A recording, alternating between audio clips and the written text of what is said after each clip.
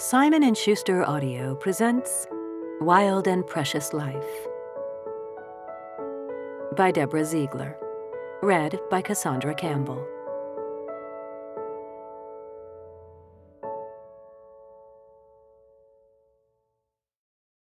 To Brittany, my sweet pea, fly freely in and out of my heart, always. Who made the world? Who made the swan and the black bear? Who made the grasshopper? This grasshopper, I mean. The one who has flung herself out of the grass. The one who is eating sugar out of my hand. Who is moving her jaws back and forth instead of up and down. Who is gazing around with her enormous and complicated eyes. Now she lifts her pale forearms and thoroughly washes her face. Now she snaps her wings open and floats away. I don't know exactly what a prayer is. I do know how to pay attention, how to fall down into the grass, how to kneel down in the grass, how to be idle and blessed, how to stroll through the fields, which is what I have been doing all day. Tell me, what else should I have done? Doesn't everything die at last? And too soon? Tell me, what is it you plan to do with your one wild and precious life? Mary Oliver, The Summer Day. Do not judge the bereaved mother. She comes in many forms. She is breathing, but she is dying. She may look young, but inside she has become ancient. She smiles, but her heart sobs. She is here, but part of her is elsewhere for eternity. Author unknown. Preface Be soft. Do not let the world make you hard. Do not let pain make you hate. Do not let the bitterness steal your sweetness.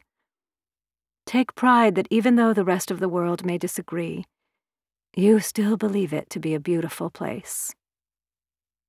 Iain Thomas, I wrote this for you. This is a story about ordinary people who accomplished extraordinary things. A story of a family that weathered more than one horrific storm. The last storm was the darkest, leaving in its wake scarred human beings and broken hearts. No one can look into my eyes and miss this. The melancholy is there, even when I smile. I see suffering etched in my husband's face as well. We are changed forever by what happened. Often people ask me, What did you learn from your journey? In the early stages of grief, I remember thinking, Not only am I supposed to survive, put one foot in front of the other, but I'm supposed to have learned something too. It was an unspoken rebuke, a visceral reaction to the question. Over time, through the process of grieving, I have begun to understand that the effort put forth in answering this question is valuable, and perhaps even transformative. At least it has been for me. Shortly after my daughter's death, I got a tattoo on the instep of my right foot reminding me not to let pain make me hard or bitter. It says, Be soft. Brittany's birth date is inked below the words. This book is my soft. In it, I'm exposing my underbelly. I'm revealing my daughter's beautiful spirit, her fury and fearlessness, her resolute determination, our frantic struggle as we staggered towards something that flew in the face of the natural order of things. No mother should bury her child. No child should have to drag her mother, kicking and screaming, out of denial and into ugly reality. My brave Brittany faced the truth sooner than I did. It took me a while, but ultimately I was forced to look death square in the eye. Death is coming for me, Mama, don't you get that? More than life itself, for 29 years I loved my daughter. Yet I've learned that she doesn't have to be physically present in order for me to love her. I can love her even after she soared away from me. My heart is open for her to fly in and out of at will. My daughter did the best she could. I'm rock solid in that truth. She tried so hard to do what was right. This idea sounds simple, but it is not. Look around at those who disappoint you, hurt you. Are they doing the best they can? Are you? Does it make any of us feel safer to think our best is better than theirs?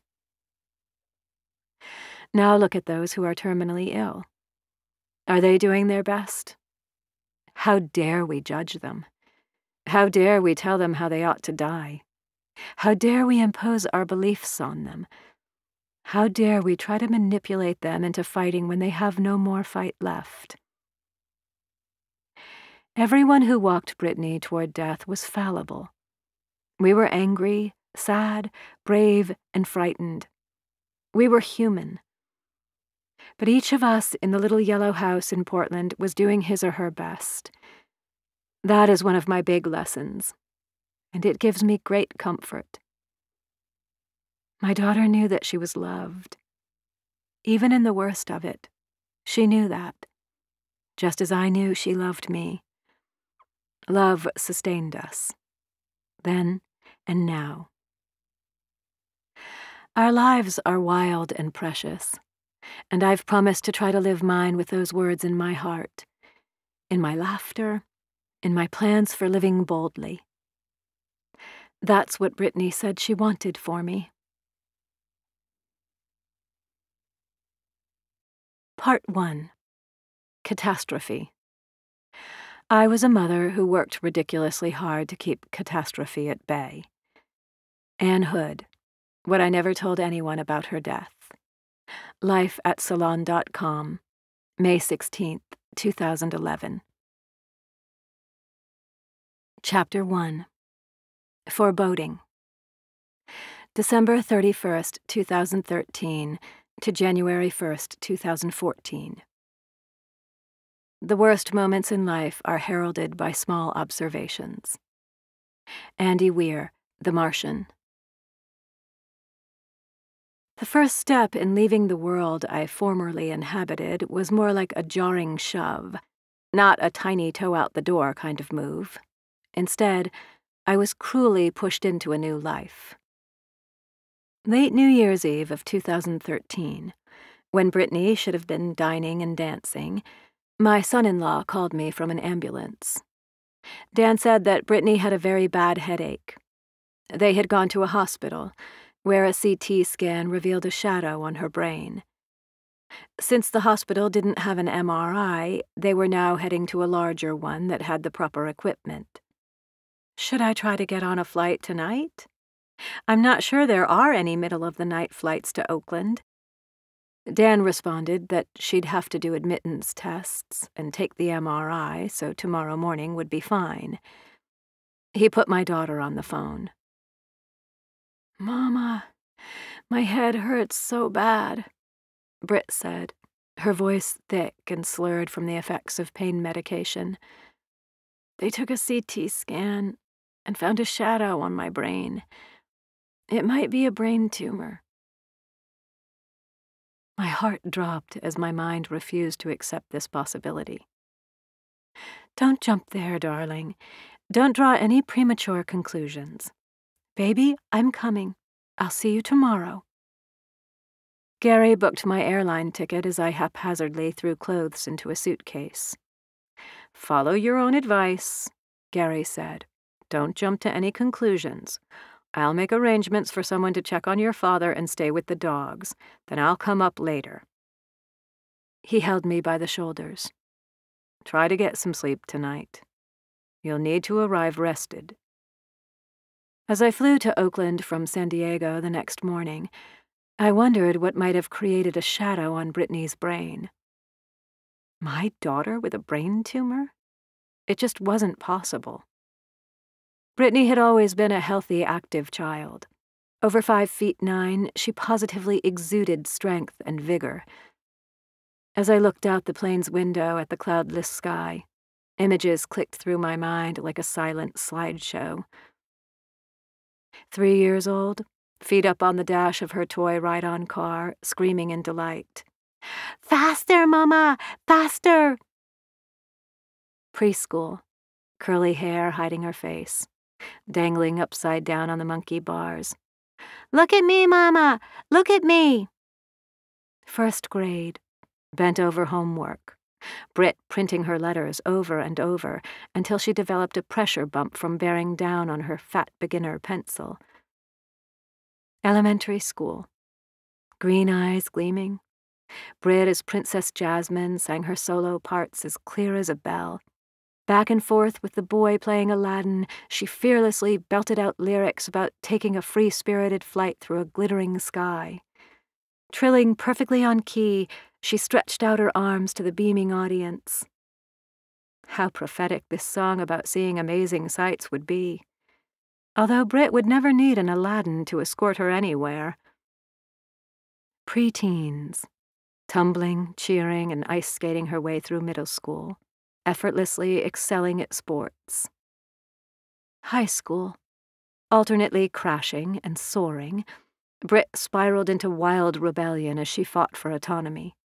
With almost waist length honey brown hair and a smile that knocked the breath out of boys, she skipped school with gleeful abandon, yet somehow always excelled scholastically.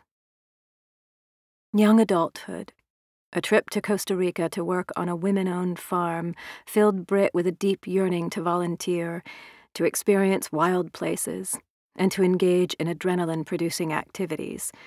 It was the first sign of the trekking, bungee jumping, stranger befriending young woman that she became. As I flew toward my sick daughter, I envisioned her startling white smile, muscular legs and powerful arms as she winged upward and plummeted, freewheeling through life.